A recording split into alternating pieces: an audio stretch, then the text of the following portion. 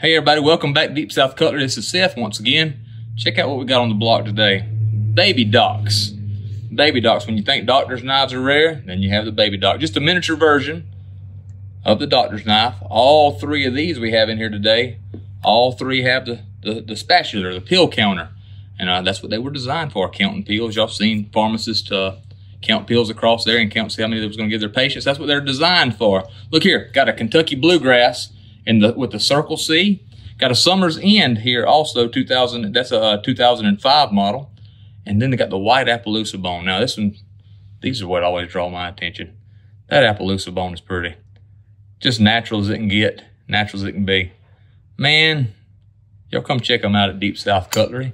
Good times, great knives. Like and subscribe. Until next time, thanks for watching. See y'all again.